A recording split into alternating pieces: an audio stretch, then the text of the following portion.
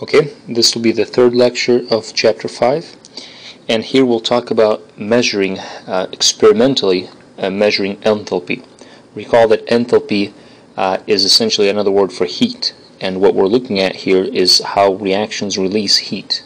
Reactions we said can release energy in two basic forms, work and heat and uh, we've kind of dropped work and we're going to from now on talk about heat or enthalpy. So the way we measure how much heat a reaction releases is by carrying out the reaction uh, in a solution, aqueous solution, uh, and then we can uh, measure how much heat uh, is released to the solution, uh, and from that to essentially to the water in the solution, and from that we'll be able to determine how much heat the reaction released. Because remember, the reactants are part of the system, and everything around it, including water, is part of the surroundings. So if we can measure how much was released to the surroundings, in this case water, we'll be able to find out the change uh, of enthalpy of the actual reaction. So what we'll do is we'll have to take a look at three things. Uh, we'll take a look at the temperature change, because the higher the temperature change, the more the reaction released, the more heat reaction released. We have to take a look at how much water we have in the cup, uh, because if we have uh, a little bit of water, then uh, the temperature will shoot up much higher than uh, if we have a lot of water. It won't go up as high. So we have to consider the water, how much water. In this case, it'll be grams. And then we have to consider something called heat capacity. And this is a property of every material. Uh, and heat capacity essentially is a measure of how well a substance takes in heat or releases heat. It's a measure of the substance uh, ability to uh, interact with heat in a way. So these three things we'll have to consider. And uh, we're going to take a, a, little closer look at what the specific heat idea is, or heat capacity. Heat capacity and specific heat. These are actually slightly different. Uh, so the amount of energy required to raise the temperature of a substance by one degree, either Kelvin or, or Celsius. Remember, Kelvin and Celsius are equivalent um, in terms of how much you increase by. This is called heat capacity. So this is a general general term, heat capacity. You know, capa how how does a substance uh, accept uh, heat. And then specific heat capacity, oftentimes just specific heat, uh, is literally uh, how much heat is required, how much energy is required for a gram of a substance to go um, up by one uh, Kelvin or one Celsius. And the idea here is specific means on a per gram basis. We can also talk on a per mole basis. So, for example, we can say water's specific heat is such and such. We can say iron's specific heat is such and such. So here actually are some of the uh, specific heats. Uh, we can either measure them in joules, the SI unit, or in calories. So if you take a look iron specific heat, iron specific heat is 0.45 and then silver's is 0.24. So these are these can be found essentially for any substance. What's interesting is if you take a look at water, water specific heat is very high compared to the rest whether you do it on a per joule basis or a per calorie basis. And actually here is where you can see where the joule and the calorie are connected. In fact, uh, water was set at one calorie.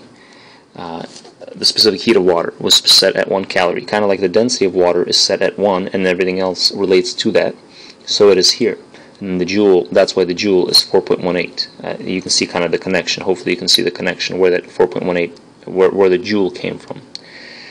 So um, water's very high heat capacity uh, makes it a, a perfect material uh, for using it in measuring the heat released in reactions because water can take up so much heat, it can store a lot of heat and we can work with it very well and it's also safe. You know, uh, there are other substances that are like this but they're not as safe as water is. So this is the equation we're going to be using the amount of heat we'll call Q, like previously, will depend on three things. Uh, how much water we have, this is the mass. The specific, specific heat of water, we'll uh, signify this by C. And then the change in temperature. So these three factors will be considered, and you just multiply these three together to get how much heat was released. Uh, and here we have a note about sometimes S is used for the specific heat instead of C. Okay, well, let's try this. Uh, so the question is how much heat is needed to warm 250 grams of water from 22 degrees Celsius to 98 degrees Celsius. And the specific heat of water is given to us as 4.18 joules per gram degree Celsius.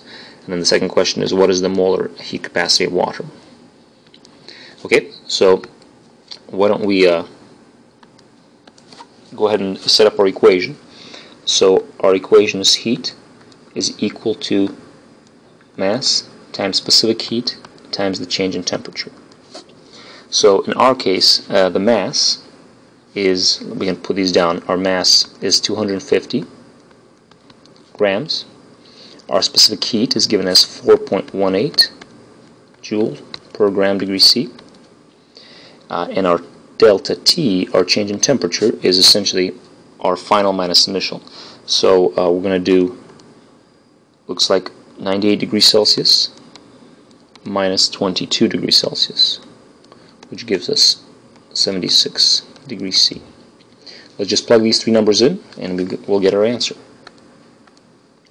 So in this case we've got ourselves 250 uh, we're going to put grams in here, here's the units, multiplied by 4.18 joules per gram degree C, multiplied by 76 degrees C. Now what you'll find uh, is the grams will cancel out on top and on the bottom, the delta C will cancel out top and bottom, and what we'll be left with uh, is going to be joules. So if we pull out a calculator and do this quick calculation, we get 250 times 4.18 times 76. And what we should get is a nice big number 79,420 joules. Uh, so this is our answer. Sometimes it's easier to report this in kilojoules, and again, a kilojoule is a thousand joules, so if we divide by a thousand, uh, we should get ourselves uh, 79 kilojoules. And because our significant figures uh, we have 2 as the least, uh, both here and here. We'll say 79 kilojoules as our final answer. The second question where it says what is the molar heat capacity of water, um, that's kind of a separate question, but let's answer it here. Uh, since the specific heat of water uh, we see is this number, so we can actually do the second one, maybe in a different color. So uh, we're going to essentially convert uh, from joules per gram degree Celsius to joules per mole degree Celsius. We're going to do a simple um, dimensional analysis. So 4.18 joules per uh, gram degree C. What I'm going to do is actually let me rewrite this as uh, 4.18 joules divided by gram degree C. So we see that gram is actually on the bottom. So what we'll do is we have to convert from grams to moles essentially. And so because grams is on the bottom, grams will go on top, and moles will go on the bottom. So we're converting from grams to moles. So these cancel out. And a mole of water is 18.02 grams. And this is H2O, the mass of water from the periodic table. Uh, and then essentially we'll get our answer. So multiply 4.18 times 18.02 gives us 75.3 in this case uh, joules per mole degree C this is the answer for the second part really it's a, it's a matter of converting from grams to moles so uh, hopefully that uh, that satisfies this first portion okay we can now talk about the specifics about uh, how we measure uh, the actual experimental design of measuring the heat released. And uh, we place a solution is what, uh, in what's called a calorimeter, and essentially it's a device. Here's a homemade device you can uh, use, um, and we measure how much uh, water is in there inside. We measure the temperature change, and we measure specific heat, which will be 4.18 because principally we'll be using water. So even though our solutions specific heat, um, you know, if our solution has something else, usually uh, it, it, it's very, very close to this value. So this is actually good enough for us to use in most cases to get a good approximation of the heat released. So uh, this is a, a, coffee cup calorimeter. So we have our thermometer, which will check the temperature change, um, and then we'll have a little stir to help out. Uh, so and a little cork stopper to make sure he does not escape but, but all uh, is measured by the thermometer. So here it is. This is kind of a big, uh, big mouthful of a problem, but let's attempt it. when 50 milliliters of 1.0 molar HCl and 50 milliliters of 1.0 molar sodium hydroxide are mixed in a coffee cup calorimeter, the temp of the solution goes from 21 degrees C to 27.5 degrees C. So calculate the enthalpy change for the reaction if the total volume of the solution is 100 milliliters and the density of the solution is 1.0 grams per mil. The specific heat of water uh, or of the solution is the same as that of water.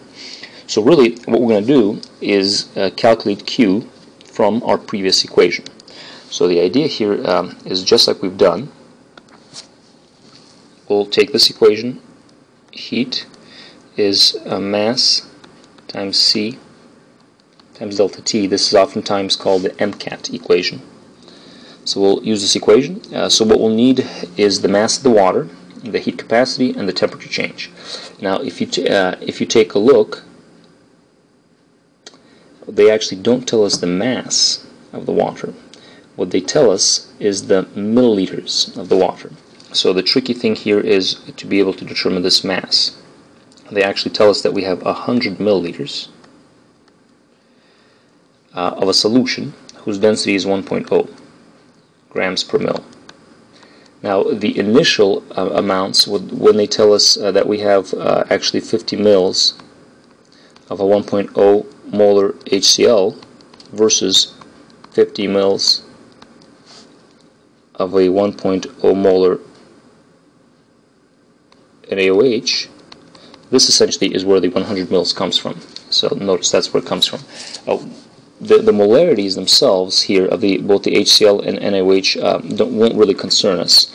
It's really the total amount of water that's in the solution that we'll have to keep track of. So uh, anytime uh, you react hydrochloric acid with sodium hydroxide, uh, a little bit of heat is evolved, uh, quite, quite a bit actually, if heat is involved, a noticeable amount of heat, the solution actually gets warm.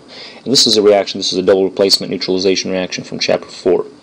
But uh, we want to capture and calculate that heat that is released. So uh, what we're going to do here in order to get our M, which is the trickiest part, is actually to use density uh, to convert from milliliters to grams. This is a, the reason we do this is because very often it's easier to measure the actual uh, volume of the solution you're putting in the coffee cap, cup calorimeter as, uh, instead of measuring the uh, the mass. So because this is volume, that's why they're giving us volume. But because mostly it's water, the density is 1.0. So if we use density, density is mass over volume. Uh, to solve for mass, in this case, we arrange the equation, and your mass will um, be equal to density times volume. So density times volume is your mass. So if you take a look, technically, uh, it's the density is 1.0. Uh, the volume is 100. So essentially, you can see that your mass is 100 grams. This is our mass. Uh, let's uh, take a look at our, so this we got mass, this is the first portion of our equation. Uh, R delta T is simply final minus initial for temperature. So our final is 27 and a half degrees C. Our initial is 21.0 degrees C. So subtract the two, and we should get six and a half degrees Celsius as our delta T. So this is our delta T and C is given to us um, as a constant. So we're actually able to now calculate the heat released. So in this case our mass is 100 grams multiplied by 4.18 joules per gram degree C multiplied by our temperature change which is 6.5 degree C. Alright, if we put this together, we get 100 times 4.18 times 6.5, getting us 2,717 joules. Again, uh, the degrees C cancel out, the grams cancel out. Um, and we can report it as joules. Let's go ahead and do significant figures in this case. And technically, because um, 100 grams only gives you one, oh, I'm sorry, 100 milliliters, which gives you 100 grams, gives you only one sig fig. Technically, we should report it in one sig fig. So this is actually roughly 3,000 joules of heat, or eh, if you want, 3 kilojoules. Which is equivalent. So this is actually our final answer. Here's how much heat um, is released. Is the idea, or the enthalpy uh, of the reaction. Now, technically, um, because the heat is released, uh, there are two ways of saying it. You could either say the uh, 3,000 joules of heat is released, uh, or you can actually say that the enthalpy change is negative 300. So, uh, I'm sorry, negative 3,000 joules. So either you can say 3,000 joules is released. That word released can be substituted by this negative. Because remember, if the change of a system, if the system releases heat, that means its heat change is negative. It went down in heat. So uh, we can say say it both ways. Okay, uh, and we have actually just a few more slides. To take a look here, uh, and we're going to take a look at something called bomb calorimetry. Now, this is the same thing as we've just done, except in a, in a more official manner and more experimental manner. Whenever they want to find out how much uh, energy, how many calories a certain uh, food item, for example, or a certain uh, reaction will release, they usually do it in a bomb calorimeter. So this is you know special uh, special maybe company or special lab that would do this. So this is the same thing as before, except now we're substituting a much more uh, you know scientific device for the coffee cup calorimeter. So it's the same thing. We're actually going to be able to uh, measure the temperature change inside the water. We're going to take a look at the temperature change here. Um, our reaction vessel will have our contain uh, will have our reaction, and then this reaction will release heat to the surrounding water and we'll be able to get it um, get the same thing. Uh, the only difference here is that uh, our equation now does not have a mass uh, portion to it. In fact, if you take a look, we just have the heat capacity and the delta T. And the reason we don't have the, the mass, like we had in the previous example, is because the mass of this bomb calorimeter, uh, the mass of the water inside never changes. So we decided to set uh, the amount of water, make it always the same, uh, and then we don't have to worry about that portion. And if you take a look, the heat capacity of the calorimeter, as you'll see, will will have a special unit in it to account for the mass. Okay, so we'll finish up with this example. We have a 0.5865 gram sample of lactic acid is burned in a bomb calorimeter whose heat capacity is 4.812 kilojoules per degree Celsius. Uh, the temp increase increases from 23.10 to 24.95 degrees C. Calculate the heat of reaction of lactic acid per gram and per mole. So we're actually going to express it in two ways. So uh, technically what we're going to do is just uh, apply that equation, uh, but uh, here we're going to um, do it on a per gram and then a per mole basis. Okay, so let's go ahead and try this. So our equation is heat is equal to the heat capacity now of the calorimeter multiplied by delta T is the idea. So let's just plug the numbers in. Delta T in our case would be final minus initial. So the final temperature is 24.95 degrees C. Initial temperature is 23.10 for a total delta T of looks like uh, is it going to be 1.85 degrees C. So we got this portion of the answer. Uh, and then the heat capacity of the calorimeter is given in the problem as 4.812 kilojoules. So let's just plug the numbers in. So we got 4.812. In this case, be careful, it's actually kilojoules. In the previous example, it was joules. But in this case, it's kilojoules per degree Celsius multiply this by our temperature change which is 1.85 degrees Celsius. And in this case you'll see that uh, temperature degrees Celsius will cancel out and we're going to be left with kilojoules. So if we do this little calculation 4.812 multiplied by 1.85 gives us an answer of 8.9022 kilojoules. Now uh, this is a preliminary answer. Uh, they want this uh, on a per gram and then a per mole basis. So it turns out that this much heat was released uh, from the reaction of 0.5865 grams. In fact, if we take a look here, this is how much we burned. So, you know, this is not a lot. Half a, half a gram is not really much, really half a paperclip. But uh, if this much releases 8.9 kilojoules, then we can find out how much each gram releases. The simplest way of doing this is actually to divide this value by how many grams we have. So on a per gram basis, we'll simply do 8.9022 kilojoules divided by how many grams we have because we want kilojoules per gram. So if you divide this by 0.5865 grams, our answer will be in kilojoules per gram. So in this case we'll do 8.9022 divided by 0.5865 giving us um, 15.18 and for significant figures sake look, looks like we're going to have three significant figures. So how about 15.2 so 15.2 kilojoules per gram here it is if we want to express this on a per mole basis uh, let's just simply convert from grams to moles kind of like we did previously so on a per mole mole basis what we'll do is we'll take our 15.2 uh, kilojoules divided by 1 gram and then convert from grams to moles.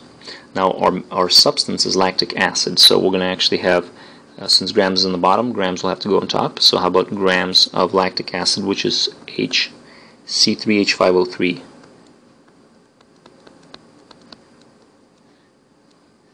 in 1 mole of the same. So if we take a look at the mass um, uh, looks like we have three oxygens, that's 16 each, gives us 48, uh, plus six hydrogens, which is another 6.06, that gives us 5406, plus three carbons, which is about 36.03, for a total of 90.09. So we simply added up the masses of the lactic acid. And then multiply that by 15.2 and we get ourselves a thousand three hundred and sixty nine in this case kilojoules per mole which is uh, quite a bit uh, but uh, what we'll do here is since we get two significant figures why don't we say looks like we have three significant figures actually from this answer so how about a thousand three hundred 70 kilojoules per mole. And this is our final answer. Quite a bit of heat. Uh, but if we're, if we're burning a mole of lactic acid, a mole is quite a bit. A mole is actually 90 grams, which would make sense. If we burn half of a gram and we got 15 kilojoules, if we burn 90 grams, um, you know, 100, almost 200 times as much, we'll get quite a bit more kilojoules per mole. All right, and that will wrap up lesson 3 of chapter 5.